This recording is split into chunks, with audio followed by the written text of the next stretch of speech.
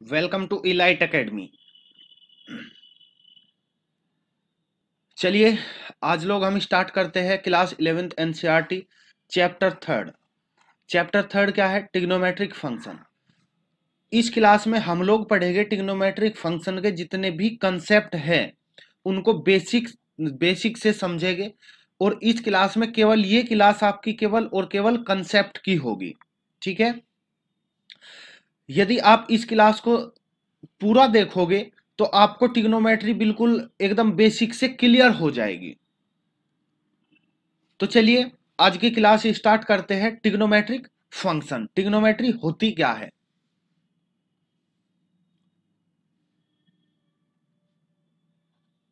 चलिए जी स्टार्ट करते हैं। देखिएगा, सबसे पहले हम टिग्नोमेट्री में बात करते हैं एंगल क्या होता है? एंगल कैसे बनाया जाता है? ठीक है? आप लोगों ने टेंथ में कोऑर्डिनेट ज्योमेट्री पढ़ी होगी, वहाँ पे आपको ये एक्सिस बताए गए होंगे। इसको बोला जाता है एक्स एक्सिस, इसको बोला जाता है वाई एक्सिस। चलिए जी, यदि हम यहाँ से इस साइड को जाते हैं तो इसको बोला जाता है पॉजिटिव डायरेक्शन। और यदि हम यहाँ से इस साइड को जाते हैं तो इसको बोला जाता है नेगेटिव डायरेक्शन। बात क्लियर? इसको बोला जाता है पॉजिटिव डायरेक्शन, इसको बोला जाता है नेगेटिव डायरेक्शन। यदि हम यहाँ पे कहीं पे भी किसी भी पॉइंट पर यहाँ पर खड़े हुए हैं, ये कोई इनिशियल लाइन है, ठीक है? ये क्या है? इनिशियल लाइन ये इनिशियल लाइन है, लेकिन यदि हमें इनिशियल लाइन से इस साइड को रोटेट किया जाए, ठीक है? मतलब यदि आप इनिशियल लाइन की तरफ़ को आप आपका मुँह इधर है आपका चेहरा इधर है आप इधर को देख रहे हैं और आपको लेफ़्ट की डायरेक्शन में मुड़ना है और इधर कोई अलग रास्ता है ठीक है? ये अलग कोई डायरेक्शन है जि, जिस साइड आपको रोटेट होना है। तो यदि आप लेफ़्ट में रोटेट होगे तो लेफ़्ट का मतलब होता है ये होगी प्लस साइड। यदि आप इस साइड को रोटेट होगे तो ये होती है नेगेटिव साइड। बात क्लियर? इस पॉइंट को बोला जाता है वर्टेक्स। क्या? वर्टेक्स। ये वर्टेक्स बोली जाती है और इसको बोला जाता है टर्मिनेटेड साइड। क्या? Terminal side. चलिए जी, यदि टर्मिनल साइड इनिशियल लाइन के लेफ़्ट में है तो जो ये यहाँ पे एंगल बनेगा, जो ये बीच का एंगल बनेगा, इस, ये होगा पॉजिटिव एंगल। और यदि टर्मिनल साइड इनिशियल लाइन के राइट में है तब ये बोला जाएगा नेगेटिव एंगल बात समझ में आई? यदि मतलब हम लेफ़्ट में चले गए तो पॉजिटिव राइट में चले गए तो नेगेटिव चलिए। ये आगे चलकर पॉजिटिव एंगल नेगेटिव एंगल बहुत सब यूज़ है इनका। तो इसको थोड़ा सा ध्यान से समझिएगा। डिग्री डिग्री क्या होता है? देखिएगा, यहाँ पे ये कोई इनिशियल लाइन है। यदि मैं इसको एक पूरा राउंड घूम के आऊँ हम यहाँ पे पूरा राउंड घूम के आए यहाँ पर। ये हो जाता है कंप्लीट 360 डिग्री, ठीक है? एक जो कंप्लीट राउंड होता है, वो होता है 360 डिग्री।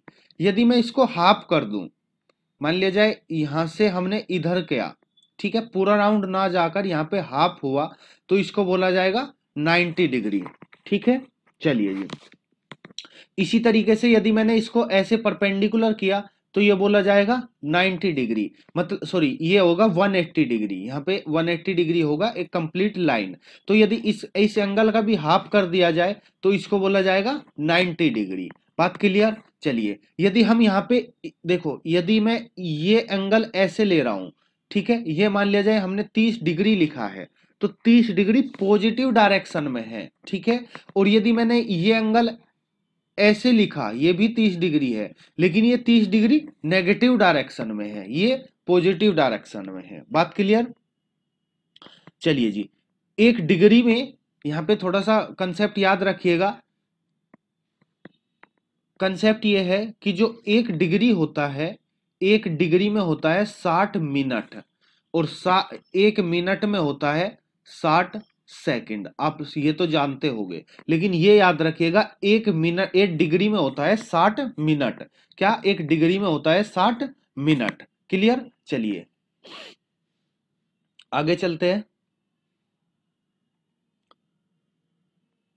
दूसरी बात, देखो, दूसरा एंगल होता है रेडियन में। रेडियन में कैसे? मतलब मान लिया जाए कोई सर्किल है, सर्किल का पाथ आपको दिया गया है, ठीक है? आपको यहाँ से यहाँ तक चलना है। इसका कोई सेंटर होगा? यदि ये इसकी रेडियस है आर ठीक है? ये रेडियस है आर और ये चली हुई दूरी है एल मान लिया हम यहाँ से और यहाँ तक चले, ये दूरी एल है। यदि हम इस एंगल को थीटा को आर और एल में रिप्रेजेंट करेंगे यदि हम इस थीटा को आर और एल में रिप्रेजेंट करेंगे तो एंगल जो निकल के आता है वो रेडियन में आएगा। क्या? थीटा इक्वल होगा एल अपोन आर चली गई दूरी अपोन रेडियस तो ये जो थीटा निकल के आएगा, ये क्या होगा? ये रेडियन होगा। रेडियन में, ठीक है? रेडियन में। ये किसमें होगा? रेडियन में। यदि आपको मतलब कोई डिस्टेंस दी गई है आर्क की डिस्टेंस दी गई है आर्क दिया गया है आपको एल ठीक है? और रेडियस दी गई है आपको आर आर्क बोला जाता है चाप को। यदि आपको चाप दिया गया है एल और त्रिज्या दी गई है आर और आपसे थीटा पूछा है तो थीटा क्या होगा? L upon R radian R radian लेकिन यदि आपको इसको डिग्री में बदलना हो जैसे मान लिया जाए, आपको देखो 60 डिग्री दिया गया है, ठीक है? आपको इसको रेडियन में बदलना है मतलब पाई में कन्वर्ट करना होगा। किसमें कन्वर्ट करना होगा? पाई में। तो आपको यहाँ पे पता होना चाहिए कि पाई की वैल्यू क्या होती है? पाई की वैल्यू होती है 180 डिग्री, ठीक है? कहाँ पर? एंगल में।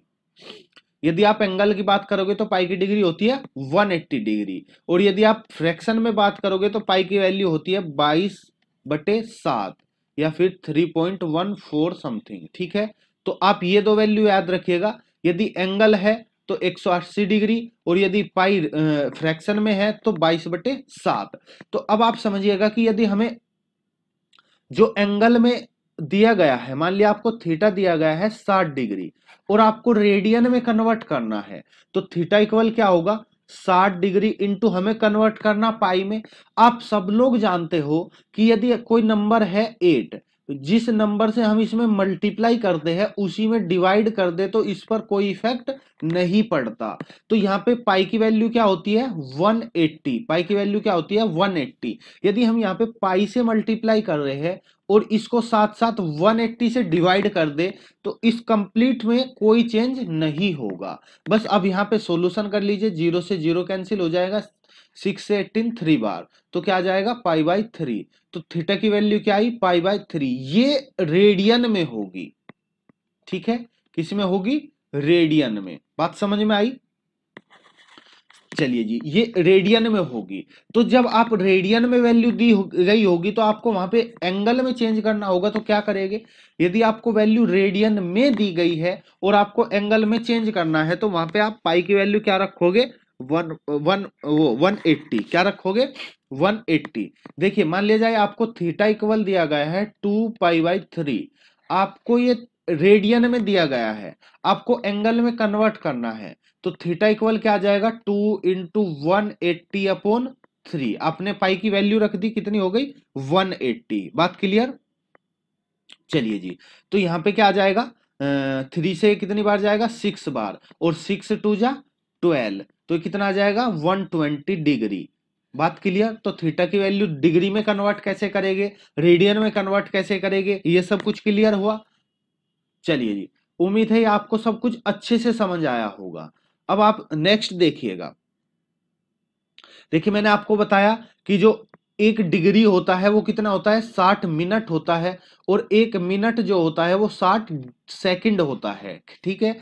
इसी तरीके से एक रेडियन जो होता है, रेडियन जो होता है, वो 180 अपोन पाई होता है। क्या होता है? 180 अपोन पाई या फिर वन डिग्री ले लीजिए, पाई अपोन 180 ठीक है? जैसे मैंने अभी आपको बताया कि यदि हमें रेडियन में कन्वर्ट करना हो तो रेडियन में कन्वर्ट करना हो तो हमें वहाँ पे पाई अपॉन एक रेडियन लिखना होगा और यहाँ पे डिग्री लिखना होगा। बात क्लियर चलिए जी, उम्मीद है ये सब कुछ आपको समझ आया होगा। इसके बाद चलते हैं नेक्स्ट कंसेप्ट पे। जैसे यहाँ पे हम एक एग्ज़ाम्पल कर लेते हैं। एग्जांपल को समझिएगा। जैसे मान लीजिए आपको दिया गया 40 डिग्री 20 मिनट आपको ये कन्वर्ट करना किसमें? रेडियन में। किसमें? रेडियन में। चलिए जी। तो सबसे पहले तो आप यहाँ पे क्या करोगे? देखो, ये डिग्री में है, ये मिनट में है। तो आप इसको भी किसमें कन्वर्ट करोगे? मिनट में कन्वर्ट करोगे। मिनट में कन्वर्ट करोगे तो जैसे आपको बताया, एक डिग्री होता है साठ मिनट तो यहाँ से यदि मैं निकालना चाहूँ, यदि यहाँ से हम जाना चाहे तो वन वन मिनट होगा वन अपॉन साठ डिग्री तो यहाँ पे कितना है? Twenty minute. यदि मैं ट्वेंटी मिनट की वैल्यू निकालू तो ट्वेंटी अपॉन साठ डिग्री होगा मतलब वन अपॉन थ्री डिग्री होगा। तो आप इसके स्थान पे क्या लिख सकते हो? वन अपॉन थ्री डिग्री लिख सकते हो। तो यहाँ पे क्या लिखा जाएगा? ये हो जाएगा forty degree plus one upon three degree. ठीक है? मतलब ये हो जाएगा फोर्थ या चार या बारह, वन ट्वेंटी प्लस वन, कितना हो जाएगा? One twenty one upon three degree. ये डिग्री में है। आपको कन्वर्ट किसमें करना है? रेडियन में। तो मैंने बताया था, जब आप रेडियन में कन्वर्ट करोगे तो पाई अपोन वन एट्टी। क्या लिखोगे? Pi upon one eighty. अब यहाँ पे आप चेक करोगे कि यहाँ पे कुछ कटेगा नहीं। यदि कुछ कटता तो यदि यहाँ पे कुछ कैंसिल होता तो हम उसको कैंसिल कर देते, लेकिन यहाँ पे कुछ भी कैंसिल नहीं होगा। तो इसका आंसर आ जाएगा one twenty one pi upon eighteen की थ्री में मल्टीप्लाई करेंगे ठरा दिया चौवन, ठीक है? तो आपका आंसर क्या हो जाएगा? One twenty one pi upon five answer. किसमें? रेडियन में। ये किसमें आया? रेडियन में। बात समझ आई? चलिए जी। जैसे दूसरा एग्जांपल ले हम। यदि आपको रेडियन में दिया गया हो, आपको एंगल दिया गया है सिक्स रेडियन क्या दिया गया? सिक्स रेडियन मतलब सिक्स रेडियन ठीक है? अब आपको एक कन्वर्ट करना है किसमें डिग्री में। तो जब आपको रेडियन में वैल्यू दी गई हो, आपको पता है वन रेडियन इक्वल होता है क्या? वन रेडियन इक्वल होता है एक सौ अस्सी अपोन पाई डिग्री। ये सब चीज़ें अभी बताइए आपको। हमें यहाँ पे सिक्स रेडियन दिया गया है, सिक्स रेडियन दिया गया है, ठीक है? सिक्स रेडियन दिया गया है तो ये हो जाएगा सिक्स इंटू एक सौ अस्सी अपोन पाई डिग्री, ठीक है? अब देखो आपको यहाँ पे डिग्री डिग्री में कन्वर्ट करना है तो सीधी सी बात है पाई को रिमूव करना पड़ेगा। तो पाई को रिमूव करेंगे यहाँ पे बाईस बटे सात वैल्यू रखकर, ठीक है? बाईस बटे सात वैल्यू रखकर तो ये हो जाएगा six into one eighty upon बाईस बटे सात। तो ये सात कहाँ चला जाएगा? ऊपर चला जाएगा। तो क्या हो जाएगा? बाईस गुणा सात, बाईस मल्टीप्लाई सात, ठीक है? अब आपको यहाँ पे बस ये कैंसिलेशन कर लेना है। यदि कैंसिल होगा तो ठीक है, यदि कैंसिल नहीं होगा तो उसी में रख देंगे। बात क्लियर चलिए, वैसे यहाँ पे टू से कैंसिल हो जाएगा इलेवन और ये नाइन बार जाएगा। नाइन की सिक्स में मल्टीप्लाई करेंगे fifty four upon eleven into seven ठीक है? अभी सेवन भी बाकी है। तो आप यहाँ पे सेवन से मल्टीप्लाई करोगे ज़ीरो सेवन फोर जा twenty eight, two carry seven five जा थर्टी फाइव और two, thirty seven upon eleven degree. बात क्लियर? ये आपका डिग्री में आंसर आ जाएगा। बात क्लियर हुई यहाँ तक? चलिए जी। मतलब रेडियन में कैसे कन्वर्ट करते हैं, डिग्री में कैसे कन्वर्ट करते हैं, ये सब चीज़ें यहाँ पर आपको क्लियर हो गई। ठीक है? कंसेप्ट पे चलते हैं। नेक्स्ट कंसेप्ट को देखेगा आपने टेंथ में एक थोरम पढ़ी होगी, पाइथागोरस थोरम ठीक है? A, B C, Pythagoras theorem. यदि मैं इसको ए ले लेता हूँ, इसको बी ले लेता हूँ तो इसको यदि सी ले लेते हैं तो बाई पाइथागोरस थ्योरम क्या होगा? सी स्क्वायर इक्वल होता है A square plus B square. मतलब इसको बोला जाता है हाइपोटेनस का स्क्वायर बराबर होता है बेस का स्क्वायर प्लस परपेंडिकुलर का स्क्वायर। बात क्लियर? यहाँ तक कोई दिक्कत नहीं? चलिए जी। यदि हम यहाँ पे बात करें एंगल की, देखो आप लोगों ने टेंथ में पढ़ा होगा sine theta, sine theta equal होता है परपेंडिकुलर अपॉन हाइपोटेनस मतलब बी अपॉन सी आ जाएगा। इसी तरह कोस थीटा इक्वल होता है।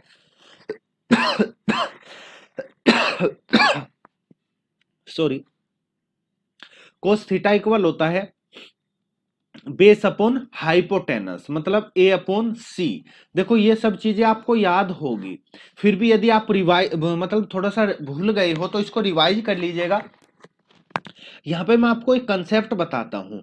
साइन कोस थीटा याद करने का। देखो, हिंदी में हिंदी में होता है लाल बटे कका।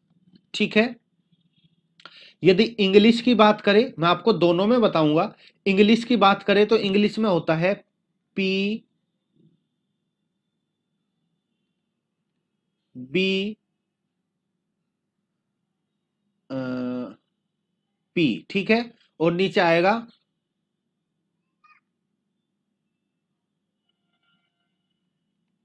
एच एच बी अब इसका एक कीवर्ड है, उसको याद रखिएगा। देखो, हिंदी में हमने याद रखा लाल बटे कका जो पहला पहला होगा, इसको हम लेंगे साइन। इसके बाद हम लेंगे जो ये सेकंड होगा, इसको हम लेंगे कोस। और जो लास्ट में बचेगा, उसको हम लेंगे टेन ठीक है? टेन क्या लेंगे टेन अब देखिएगा, लाल बटे कका एल से एल से एल से होता है लंब। ठीक है? और कैसे होता है कर्ण? हिंदी में लंब और कर्ण। मतलब साइन पहले आया है तो साइन में आएगा लंब बटे कर्ण। बात क्लियर? चलिए जी, इसी तरीके से आ। आ का मतलब होता है आधार। ठीक है? आधार मतलब बेस ठीक है? दूसरा कै का मतलब होता है कर्ण तो कोस थीटा क्या हो जाएगा? आधार बटे कर्ण क्लियर चलिए जी, जैसे टेन थीटा टेन थीटा में क्या है? एल एल का मतलब लंब, आ का मतलब आधार तो टेन थीटा हो जाएगा लंब बटे आधार, ठीक है? इसी तरीके से आप इंग्लिश में भी याद रख सकते हो, ठीक है? इंग्लिश में क्या होता है? इसको आप बोलोगे पाकिस्तान भूखा प्यासा। क्या पाकिस्तान भूखा प्यासा? यहाँ पे आप क्या बोलोगे? हिंदुस्तान हरा भरा। ठीक है? यहाँ पे भी सेम है, जो पहला होगा, वो क्या होगा? साइन होगा। इसके बाद जो होगा, उसको आप क्या बोलोगे? उसको आप कोस बोलोगे। और उसके बाद क्या होगा? उसके बाद टेन होगा। ठीक है? देखिए, हमने बोला पाकिस्तान भूखा प्यासा, हिंदुस्तान हरा भरा तो साइन का होगा पी पी का मतलब परपेंडिकुलर अपॉन एच एच का मतलब हाइपोटेनस ठीक है? कोस कोस का मतलब क्या होता है? बी बी का मतलब बेस अपॉन एच एच का मतलब हाइपोटेनस ठीक है? टेन टेन का मतलब परपेंडिकुलर अपॉन बेस बात क्लियर चलिए जी, उम्मीद है ये ट्रिक आपको याद रहेगी और आप कभी भी साइन कोस में कंफ्यूज नहीं रहोगे, ठीक है? चलिए नेक्स्ट कंसेप्ट पे चलते हैं। यहाँ पे आपको कुछ फॉर्मूले वगैरह याद रखने होंगे। जैसे यदि मैं बात करूँ यहाँ पे कुछ फॉर्मूले आ जाते हैं, जैसे sine square theta plus cos square theta equal क्या होता है? वन होता है, ठीक है? यदि मैं यहाँ से कोस की वैल्यू निकालना चाहूँ तो कोस स्क्वायर थीटा इक्वल आ जाता है one minus sine square theta या फिर आप कह लीजिए साइन स्क्वायर थीटा इक्वल होता है one minus cos square theta तो ये सब चीज़ें आपको याद रखनी है, ठीक है? इसी के साथ साथ एक कोस टेन टेन कोस आपको क्लियर हुआ। इसी के साथ साथ एक फॉर्मूला होता है। आपको ये तीन फॉर्मूले, मेन तीन फॉर्मूले होते हैं। One plus tan square theta equal क्या हो जाएगा? Sec square theta. और इसी तरीके से one plus cot square theta equal होता है कोसेक स्क्वायर थीटा। बात क्लियर? समझ आया? चलिए जी। देखो, ये फॉर्मूले आपको याद रखने हैं। ठीक है? इसी से हम निकाल सकते हैं, यदि हमें इससे टेन की वैल्यू निकालनी हो तो क्या हो जाएगी? Sec square theta minus one और यदि यहाँ से हमें कोट की वैल्यू निकालनी हो तो कोट की वैल्यू हो जाएगी cosec square theta minus one बात क्लियर चलिए जी। मतलब आपको ये तीन फॉर्मूले इंपोर्टेंट है, आपको याद रखने हैं, ठीक है? चलिए, इसके बाद बात करते हैं हम टेबल टेबल को हम कैसे याद रखेंगे? टेबल को थोड़ा सा समझिएगा। टेबल याद कैसे रखेंगे? देखो, टेबल में जैसे वैसे वैल्यू होती है sine cos tan. Main value ये होती है। और यदि आप एंगल की बात करते हो, एंगल क्या होता है? ज़ीरो से स्टार्ट होता है। ज़ीरो डिग्री, तीस डिग्री, पैतालीस डिग्री, साठ डिग्री और नब्बे डिग्री। ठीक है? आप इसी को यदि आप रेडियन में कन्वर्ट करोगे तो ये तो ज़ीरो तो ज़ीरो ही होता है। इसको रेडियन में कन्वर्ट करोगे तो पाई बाई सिक्स आएगा। पाई बाई फोर आएगा। ये पाई बाई थ्री आएगा और ये पाई बाई टू आएगा। तो आपको सब ये याद रखना है। देखो, आपको याद रखने के लिए हम ये नहीं बोलेंगे कि रटो, आप रटने की ज़रूरत नहीं है। आप देखो यहाँ पे कितने एंगल है? One two three four five angle है। तो आप यहाँ पे ज़ीरो से लेके वन, टू, थ्री, फोर। पाँच नंबर लिखे हमने। अब पाँच नंबर जब हमने लिखे यहाँ पे, लास्ट में क्या आया? फोर। लास्ट में फोर आया तो हमने सबको फोर से डिवाइड कर दिया। सबको फोर से डिवाइड कर दिया। जब हमने फोर से डिवाइड किया तो इसको हमने क्या कर दिया? स्क्वायर रूट कर दिया। स्क्वायर रूट कर दिया। सबसे पहले हमने क्या लिखा? ज़ीरो से लेके फोर तक फाइव नंबर लिखे, क्योंकि यहाँ पे एंगल कितने थे? फाइव एंगल थे। चलिए, जब यहाँ पे फोर आया लास्ट में जो आया फोर उससे हमने सभी को डिवाइड किया और स्क्वायर रूट किया। इसकी वैल्यू क्या आ जाएगी? ज़ीरो इसकी वैल्यू क्या आ जाएगी? वन बाई टू इसकी वैल्यू क्या आ जाएगी? वन बाई रूट टू इसकी value root three by two और इसकी वैल्यू वन ये जो भी वैल्यू निकल के आई, आपको यहाँ पे पुट कर देनी है। Zero one by two one by root two one root three by two और यहाँ पे वन बात समझ में आई? साइन साइन थीटा की वैल्यू मतलब आपसे पूछा गया साइन ज़ीरो ज़ीरो साइन तीस वन बाई टू या sine pi by six one by two sine पैंतालीस one by root two sine pi by four one by root two बात clear मतलब आपको ये याद कैसे रखना है? आपको ऐसे ही याद रखना है मतलब आपको नंबर लिख लेने हैं ज़ीरो से लेके फोर तक। लास्ट में फोर है फोर से डिवाइड किया, सबका स्क्वायर रूट कर दिया, आपका आंसर आ गया। अब देखो, आपको अब जब कोस की वैल्यू निकालनी हो तो क्या करेंगे? कोस की वैल्यू निकालने के लिए आप इधर से मतलब यदि ये एक, हम यहाँ पे एक लाइन ड्रॉ कर लेते हैं, ये इधर को। अब हमने यहाँ से इसको पकड़ा और हम ऐसे घूम गए। यहाँ पर आ गए जी हम। हमने इसको यहाँ से पकड़ा और ऐसे घूम गए। तो जो सबसे लास्ट में लिखा है वो यहाँ पे आ जाएगा। जो ये वाली वैल्यू है वो यहाँ पे आ जाएगी। ये यहीं पे रहेगी। ये वाली वैल्यू यहाँ पे आ जाएगी और ज़ीरो यहाँ पे आ जाएगा। मतलब आपसे पूछा जाए cos zero one cos pi by four one by root two cos pi by three, one by root three, cos pi by two, zero. बात क्लियर? चलिए जी। बात समझ आई? कैसे याद रखना है? ठीक है। इसके बाद देखिएगा, हमें टेन टेन क्या होता है? हमको मालूम है, टेन थीटा होता है sine theta upon cos theta. मतलब साइन थीटा की वैल्यू को आप कोस थीटा की वैल्यू से डिवाइड कर दीजिए, टेन की वैल्यू आ जाएगी। आप यहाँ पे डिवाइड लगाओगे तो ये बनेगा zero upon one. Zero upon one की वैल्यू क्या होती है? ज़ीरो। ये है one by root two divide में root three by two sorry one by two root three by two two से टू कैंसिल क्या बचा? One upon root three. देखो, ये वैल्यू सेम है तो कट के कितना आ जाएगा? वन। यहाँ पे भी टू से टू गया तो रूट थ्री और यहाँ पे वन। सॉरी यहाँ पे इन्फिनिटी ठीक है नोट डिफाइंड यहाँ पे क्या आ जाएगा? इन्फिनिटी मतलब नोट डिफाइंड समझ आई? टेन की वैल्यू कैसे निकालेंगे, कोस की वैल्यू कैसे निकालेंगे, ये सब चीज़ें। चलिए जी। बहुत इजी है, कुछ ज़्यादा डिफ़िकल्ट नहीं है, बहुत आराम से आप इसको दो चार प्रैक्टिस में ये आपके बिल्कुल रट जाएगा। जब आप इसकी दो चार बार प्रैक्टिस कर लोगे आपके बिल्कुल रट जाएगा। आपकी वैल्यू जहाँ पे भी आपको निकालनी होगी, एकदम डायरेक्ट वैल्यू निकल के आएगी। ठीक है? चलिए जी। कुछ और कंसेप्ट है इसमें? टिग्नोमेट्रिक फ़ंक्शन में उसको भी जरा समझ लेते हैं, ठीक है? देखिएगा, यहाँ पे आपको याद रखना है, जो साइन कोस होता है, इनकी जो डोमेन होता है, डोमेन मतलब डोमेन रेंज क्या होता है?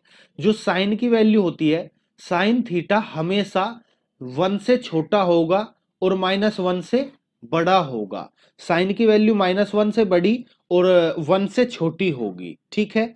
और कोस की वैल्यू कोस की वैल्यू भी माइनस वन से बड़ी और वन से छोटी होगी। इसी तरह कोस थीटा होता है माइनस वन वन से लेस और माइनस वन से ग्रेटर मतलब जो इन दोनों की वैल्यू जो साइन कोस की वैल्यू निकल के आती है, वो माइनस वन और वन के बीच में आती है, ठीक है? उससे बाहर नहीं जाती। यानी कि वन से बड़ी नहीं होगी और माइनस वन से छोटी नहीं होगी। ठीक है, ये सब चीज़ें समझ आई? चलिए जी।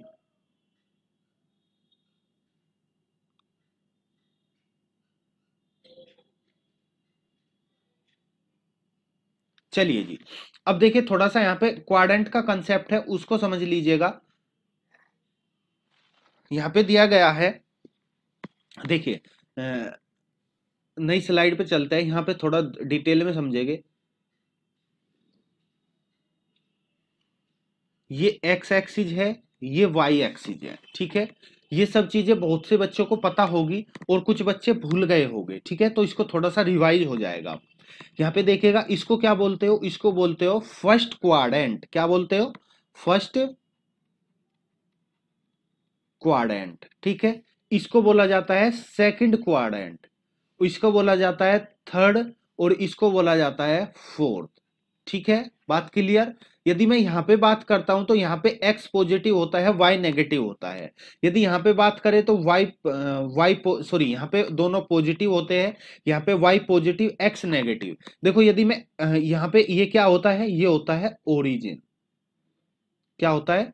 ओरिजिन यदि ओरिजिन से लेफ़्ट में जाएगा तो ये नेगेटिव होगा, इससे इस साइड जाएगा तो पॉजिटिव होगा। यदि यहाँ से ऊपर की साइड जाएँगे तो पॉजिटिव होगा और नीचे की साइड जाएँगे तो नेगेटिव होगा।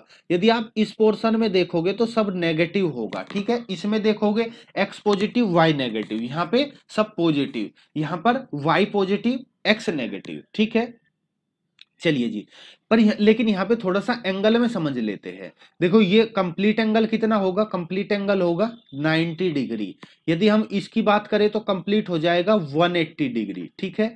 चलिए। देखो यदि हम यहाँ पे बात करते हैं साइन कोस टेन इन सब की यदि हम बात करें देखो, जो इनके अपोजिट होते हैं, इनका जो विपरीत होता है, यदि मैं यहाँ पे विपरीत की बात करूँ, साइन का विपरीत क्या होता है? साइन का विपरीत होता है कोसेक यानी कि वन अपोन कोसेक थीटा यदि हम कोस की बात करें तो कोस थीटा का होता है वन अपोन सेक थीटा और यदि हम टेन की बात करें तो ये होता है वन अपोन कोट थीटा तो आप ध्यान रखिएगा क्वाड्रेंट में जो बिहेवियर इनका होगा वो ही इनका होगा। जो प्रभाव इन पर पड़ेगा वही प्रभाव इन पर पड़ेगा। ठीक है? तो हम यहाँ पे केवल ये तीन टिग्नोमेट्रिक फ़ंक्शन लिखेंगे। जो इन पर प्रभाव पड़ेगा वही बाकी इनके अपोजिट वाले एंगल पर पड़ेगा। ठीक है? तो देखिए यहाँ पे जो फ़र्स्ट क्वाड्रेंट होता है, फ़र्स्ट क्वाड्रेंट में सभी एंगल क्या होते हैं? पॉजिटिव होते हैं। साइन भी पॉजिटिव, कोस भी पॉजिटिव और टेन भी पॉजिटिव। लेकिन फ़र्स्ट क्वाड्रेंट में जाने का मतलब क्या होगा? यहाँ पे फ़र्स्ट क्वाड्रेंट में जाने का मतलब है, देखो ये ज़ीरो है तो ज़ीरो से ऊपर कितना भी जाएगा वो ठीक है। लेकिन ये ये पाई बाई टू है पाई बाई टू मतलब नाइनटी है तो ये एंगल है pi by two pi by two या आप कह लीजिए नाइनटी डिग्री यदि मैं यहाँ से लेफ़्ट में मतलब यहाँ से उल्टा हटेगे, तभी तो फ़र्स्ट क्वाड्रेंट में जाएँगे। उल्टा हटने का मतलब होगा यदि pi by two minus theta होगा तो ये सारे एंगल कैसे हो गए? पॉजिटिव हो गए। बात समझ आई? लेकिन यदि हम सेकंड क्वाड्रेंट में चले जाते हैं सेकंड क्वाड्रेंट में जाएँगे हम pi by two plus theta करने पर, या फिर आप कह लीजिए 90 प्लस थीटा करने पर। यदि ऐसा केस होगा तो सेकंड क्वाड्रेंट में केवल आपका साइन पॉजिटिव होगा कोस भी नेगेटिव होगा टेन भी नेगेटिव होगा। बात क्लियर चलिए जी। यदि हम थर्ड क्वाड्रेंट की बात करें सेकंड क्वाड्रेंट में एक तरीके से और चला जाएगा। जैसे यहाँ पे यदि 180 माइनस थीटा हो, क्योंकि जो एक कंप्लीट एंगल है, ये क्या है? ये 180 है। तो या तो आप इसको पाई माइनस थीटा लिखिएगा, या फिर 180 माइनस थीटा लिखिएगा। ठीक है? चलिए जी, यदि हम थर्ड क्वाड्रेंट में पहुँच जाते हैं थर्ड क्वाड्रेंट का मतलब होगा पाई प्लस थीटा या फिर 180 प्लस थीटा। ये बहुत इंपॉर्टेंट चीज़ है। यदि आप इसमें कंफ्यूज रहोगे तो आप कोई भी क्वेश्चन नहीं कर पाओगे। ये बहुत आपको बेसिक से समझने के लिए है, ठीक है? देखिए थर्ड क्वाड्रेंट में आपका साइन नेगेटिव होता है। कोस पॉजिटिव होता है, ठीक है?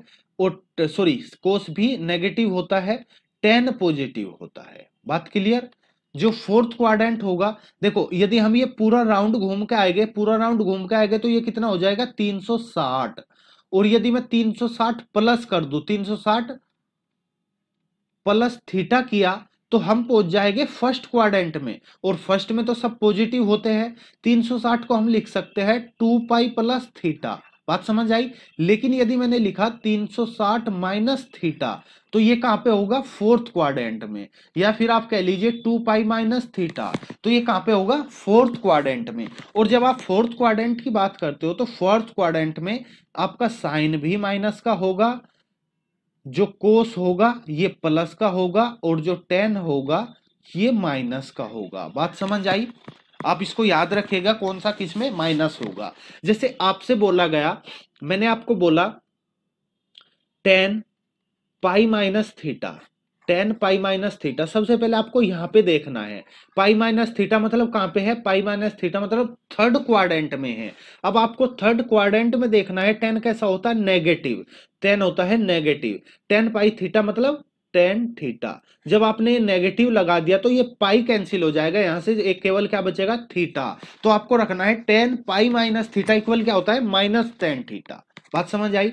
जैसे मैंने लिखा टेन पाई प्लस थीटा ठीक है? तो आपने यहाँ पे देखा पाई प्लस थीटा कौन से क्वाड्रेंट में? थर्ड क्वाड्रेंट में। थर्ड में टेन क्या होता है? पॉजिटिव तो आपने क्या लिखा? टेन थीटा बात समझ आई? कैसे देखेंगे? ठीक है। लेकिन देखो, यहाँ पे यदि हम देखते हैं पाई बाई टू पर, पाई बाई टू पर क्या होता है? पाई बाई टू पर पाई बाई टू पर चेंज हो जाएगा। क्या? साइन चेंज हो जाएगा कोस में। कोस चेंज होगा साइन में और टेन चेंज होगा कोट में। ठीक है? बात समझ आई? टेन किसमें चेंज होगा? कोट में। जैसे यहाँ पे समझिएगा। यहाँ पे थोड़ा सा समझिएगा, यहाँ पे क्या दिया जैसे मैंने लिखा साइन 19 प्लस थीटा तो पहले तो आप यहाँ पे जाओगे 90 प्लस थीटा मतलब pi pi by two plus theta, जब आप यहाँ पे pi by two plus theta में जाओगे तो प्लस का मतलब है थर्ड क्वाड्रेंट थर्ड क्वाड्रेंट में जाने का मतलब है कि थर्ड क्वाड्रेंट में क्या होगा, साइन प्लस का होगा। साइन प्लस का होगा तो यहाँ पे साइन तो पॉजिटिव रहेगा मतलब पॉजिटिव साइन रहेगा।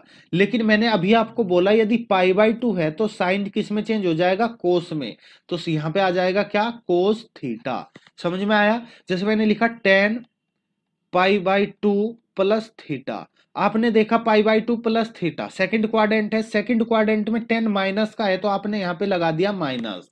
लेकिन पाई बाई टू के कारण ये जो टेन है, ये कन्वर्ट किसमें हो जाएगा? कोट में। तो यहाँ पे आ जाएगा कोट थीटा। ठीक है? उम्मीद है ये कंसेप्ट आपको बिल्कुल अच्छे से समझ आया होगा। यदि फिर भी आपको थोड़ा सा कुछ कंफ्यूजन है तो एक बार इसको वीडियो को रिवाइंड करके देख लीजिएगा। आपका जो भी कंफ्यूजन है, वो सब क्लियर हो जाएगा, ठीक है? बाकी कंफ्यूजन हम जब एक्सरसाइज करेंगे तो वहाँ पे सब कुछ आपका क्लियर हो जाएगा। जब आपकी एक्सरसाइज की जाएगी तो वहाँ पे सब कुछ क्लियर हो जाएगा, ठीक है? समझ आया?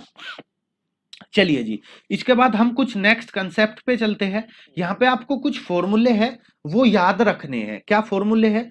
फॉर्मूले नोट कर लीजिएगा। यहाँ पे जो साइन माइनस थीटा होता है, ये माइनस साइन थीटा होता है, जो कोस माइनस थीटा होता है, ये कोस थीटा होता है और जो टेन माइनस थीटा होता है, ये माइनस टेन थीटा होता है। मैंने बोला जो भी इनके साथ होगा, वो ही इनके अपोजिट एंगल के साथ होता है। मतलब अपोजिट एंगल जैसे साइन का अपोजिट क्या है? कोसेक मैं थोड़ा सा यहाँ पे एक बार रिवाइज करा देता हूँ।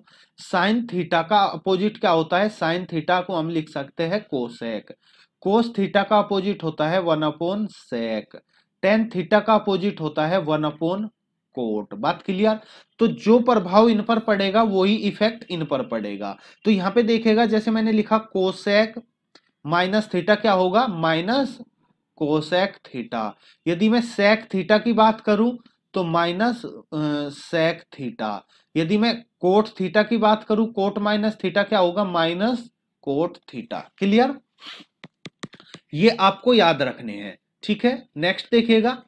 इसके बाद यहाँ पे सम, कुछ फॉर्मूले हैं, ये आपको याद रखने हैं। क्या? जैसे हमने लिखा कोस एक्स प्लस वाई ये क्या होता है? ये होता है cos x into cos y minus sine x into sine y इसके साथ साथ यदि मैं यहाँ पे कोस एक्स प्लस वाई का लिखता हूँ तो सॉरी माइनस का लिखते हैं, यहाँ पे प्लस है तो माइनस का लिखते हैं तो यह आ जाएगा cos x cos y plus sine x sine y यहाँ पे ध्यान दीजिएगा, यदि कोस में यहाँ पे प्लस है तो यहाँ पे माइनस होगा।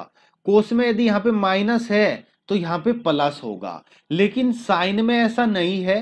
Sine x plus y equal होता है sine x into cos y plus cos y cos x into sine y ठीक है? यदि यहाँ पे साइन एक्स माइनस वाई है तो ये हो जाएगा sine x into cos y minus cos x into sine y बात clear?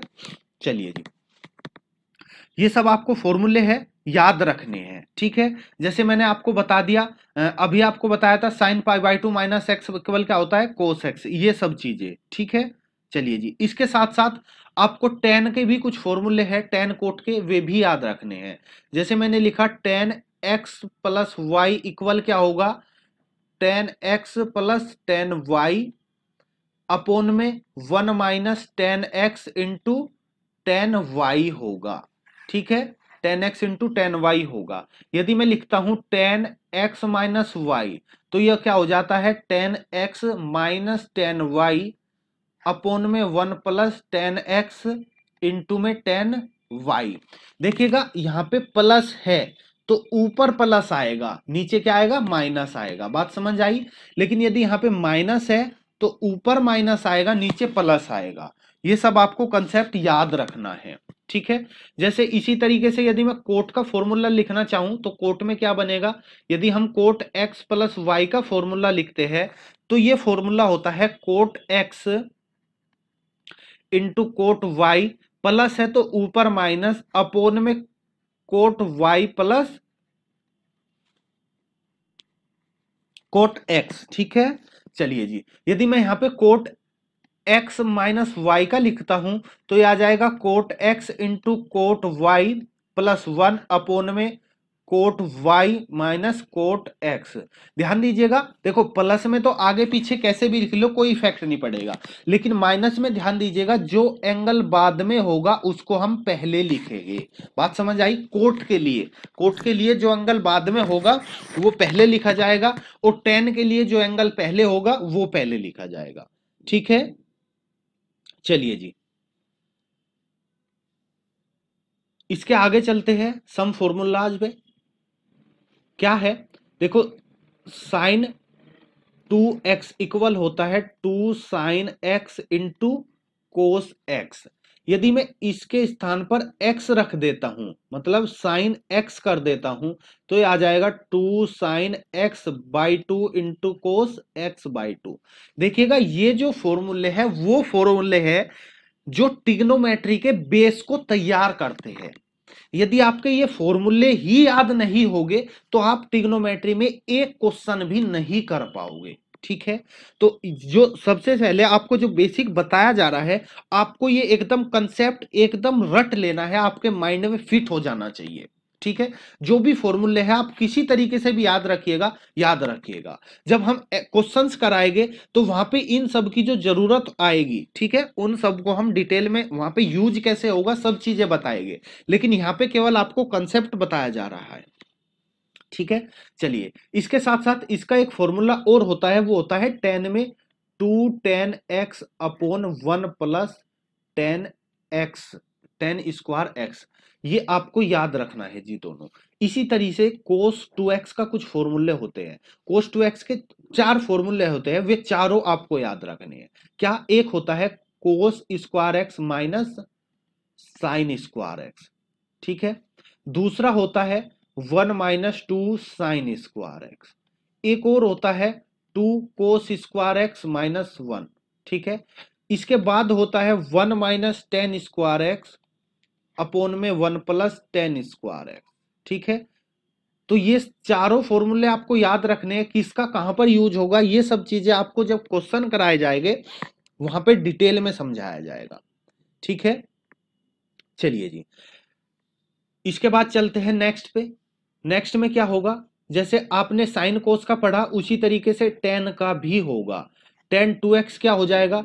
Two tan x upon one minus tan square x ठीक है? टेन टू एक्स का क्या हो जाएगा? Two tan x upon one minus tan square x चलिए जी, इसके बाद हम चलते हैं थ्री एक्स के फॉर्मूले पर। क्या? साइन थ्री एक्स इक्वल होता है three sine x minus four sine cube x. इसी तरह कोस थ्री एक्स का होता है four, cos cube x minus three, cos x. ठीक है? ये दोनों फॉर्मूले आपको याद रखने हैं। इसी तरीके से एक टेन का होता है टेन का भी आप याद रखिएगा। टेन थ्री एक्स इक्वल होता है three tan x minus tan cube x upon में one minus three tan square x. देखो, ये तीनों फॉर्मूले वेरी वेरी इंपॉर्टेंट है।